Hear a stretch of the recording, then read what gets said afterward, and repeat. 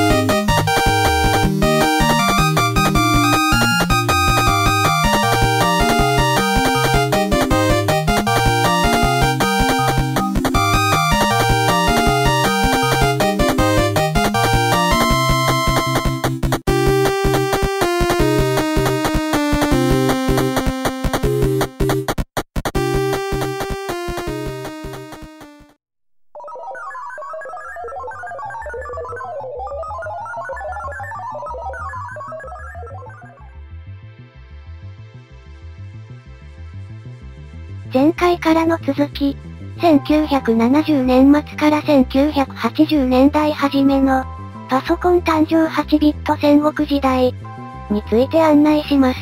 1970年代は、大企業や研究所など限られた人しか、コンピュータを触れることができなかった時代から、一人一人に、コンピュータを持てる時代がやってくると、信じて挑戦した時代だったんだ。そして、1970年代に行き着いたのが、オールインワンパソコン。オールインワンパソコン？入力装置である、キーボード。出力装置である、ディスプレイ。そして、記憶装置が一つになった。コンパクトなコンピュータの登場だよ。1977年、コモドール、PET2001。1977年、アップル、アップル2。